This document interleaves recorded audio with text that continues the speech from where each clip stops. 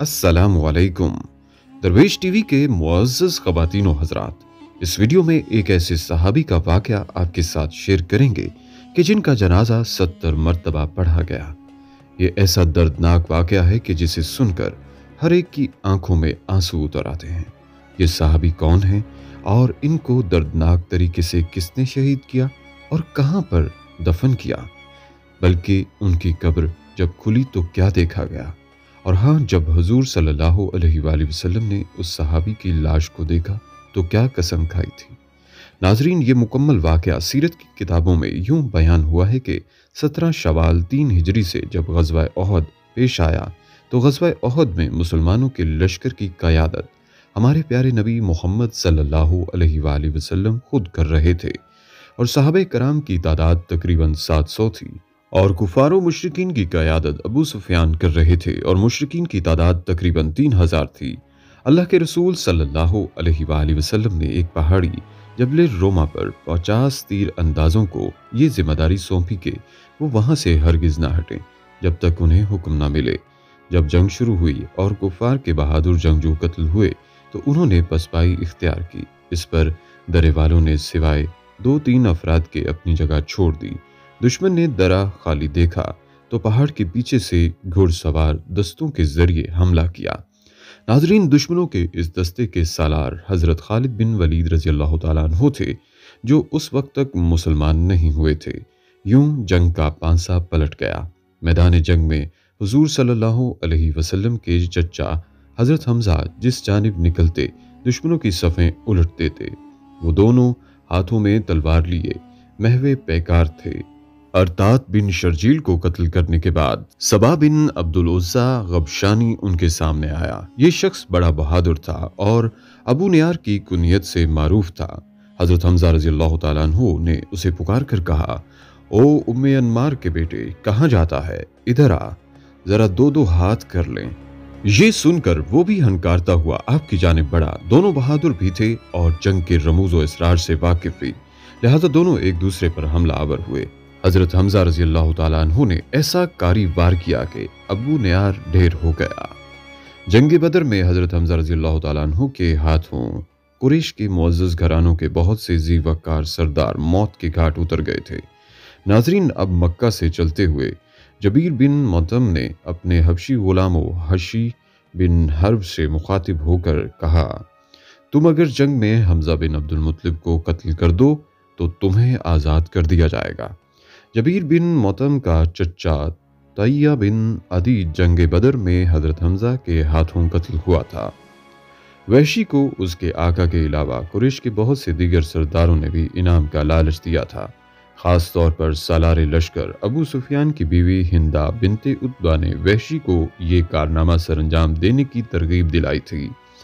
मक्का से चलने के वक्त से लेकर हज़रत हमजा की शहादत तक जब भी हिंदा को वैशी नज़र आता उसे कहती वैशी तू हमारा सीना ठंडा कर। हम तेरा दिल खुश कर देंगे। वैशी हज़रत हमजा रज़ी अल्लाह के मुकाबला पर आने की ज़रूरत नहीं कर सकता था। मगर उसके पास एक ऐसा फन था, जिस पर एतमाद करते हुए उसने हज़रत हमजा रज़ी अल्लाह को कत्ल करने की हामी भर ली। फिर दूर से निशाना बांधकर इस महारत से नेजा या खंजर फेंका था कि उसका निशाना कम ही खता होता था। हज़रत हमजा रज़ी अल्लाह तु ज़रा नहीं पहनते थे। सबा बिन अब्दुलज़ा को कत्ल करने के बाद उनका पाँव फिसला और वो गिर गए। उठने लगे तो पत्थर की ओर से वैशी ने नेज़ा फेंका, जो उनकी नाव के नीचे लगा और जिस्म से पार हो गया। उन्होंने अपने कातिल को देख लिया, जख्म खाकर वो लड़खड़ाए और गिर पड़े। इसके बावजूद हिम्मत करके उठे और अपने कातिल की तरफ़ बढ़ना चाहा, मगर फिर गिर गए और शहीद हो गए। सैदना हमजा की शहादत पर कुफ़ार ने बेपना खुशियाँ मनाई। हिंदा ने हज़रत हमजा रज़ी अल्लाह की लाश का मसला किया।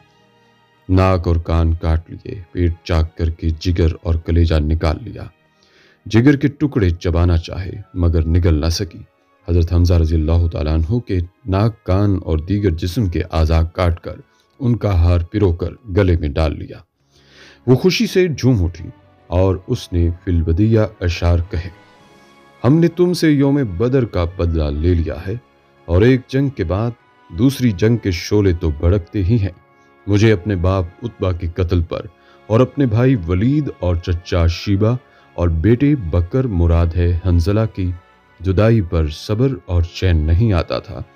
आज मेरा दिल मुतमिन हो गया है और मैंने अपनी मानी हुई नज़र पूरी कर ली है। ए वैशी तूने मेरे सीने को गम दूर कर दिया है और मेरे दुखों का मदावा मुहैया कर दिया है वैशी के एहसान का शुक्र सारी उम्र के लिए मेरे ऊपर वाजिब हो गया है, जो मैं हमेशा अदा करती रहूँगी यहाँ तक कि मेरी हड्डियाँ कब्र में गल सड़ जाएँ। हिंदा बिनते उतबा के आशार का जवाब उसके हम नाम सहाबिया हज़रत हिंदा बिनते असासा बिन अब्बाद रज़ी अल्लाह ने दिया, जिनका ज़िक्र इब्न हशाम ने अपनी तारीख में किया है। इन अशार में से पहला शेर है, तू बदर में भी जलीलो रसवा हुई और बदर के बाद भी जिल्लत ही जिल्लत तेरा मुकद्दर है। ए बहुत गीबत करने वाले बड़े काफिर की बेटी, हज़रत हमजा रज़ी अल्लाह की शहादत तारीख़ इंसानी के उन वाक़ात में से है, जिनको कभी फरामोश नहीं किया जा सकता। इस वाक़े में बुग्ज और कीना की बदतरीन मिसाल और संग दिली और शकावत का बदतरीन नमूना नज़र आता है। और सब्र, इस्तकामत और तकवा अजीमत भी पूरी अजमत के साथ जलवा अफरोज़ है।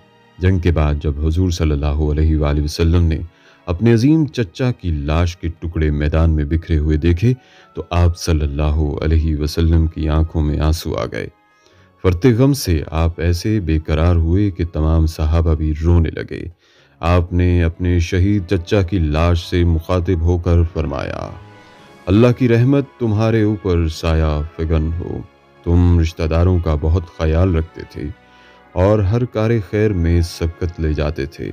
अगर मुझे सफ़िया के गम रंज का ख्याल ना होता तो मैं तुम्हारे जिस्म के टुकड़े यूँ ही मैदान में छोड़ देता। ताकि उन्हें दरिंदे और परिंदे खा जाएँ और तुम क़यामत के दिन उन्हीं के पेट से उठाए जाओ। खुदा की कसम, मैं तुम्हारे बदले में कुफार के सत्तर आदमियों का मसला करूँगा। नाजरीन, हजूर सल्लल्लाहु अलैहि वसल्लम के इस इरादे पर अल्लाह ताला की तरफ़ से आपको वही ज़रिए तस्करा की गई। और अगर तुम सज़ा दो तो वैसी ही सज़ा दो, जैसी तुम्हें अजियत पहुंचाई गई हो। और अगर तुम सब्र करो तो बिलाशुबा सब्र करने वालों के लिए सब्र ही अच्छा है। और तुम सब्र करो और तुम्हारा सब्र करना ख़ास अल्लाह ही की तौफीक से है। इब्न कसीर और इमामुल करतबी रहमतुल्लाह अलैह ने अपनी तफसीरों में सूरत नहल की इन आयात का शान नजूल इसी वाक़ को बयान किया है। इस हुक्म रब्बानी के बाद आप सल्लल्लाहु अलैहि वसल्लम ने यह इरादा तर्क कर दिया और कसम का कुफारा अदा फरमाया। ना सिर्फ़ ये बल्कि आपने मसले से सख्ती के साथ मना फरमा दिया और हुक्म हुआ कि मसला हरगिज ना करना हती के बाबले कुत्ते का भी हजूर अक्रम सल्लल्लाहु का दिल सख्त गमगीन था। इस मौके पर अल्लाह ताला ने सब्र की तलकीन भी की और आप सल्लल्लाहु अलैहि वसल्लम के जख्म पर मरहम भी रखा। आपने इर्शाद फरमाया, मुझे जिब्राइल अमीन ने खुशखबरी सुनाई है कि हमजा बिन अब्दुल मुतलिब को सातों आसमानों पर और जन्नतुल में असदुल्ला और असद रसूल लिख दिया गया है। हज़रत हमजा रज़ी अल्लाह तु की बहन हज़रत सफ़िया रज़ी अल्लाह बिनते अब्दुल मुतलिब जंग की खबर सुनने के बाद मदीना मुनवरा से ओहद की तरफ़ रवाना हुई।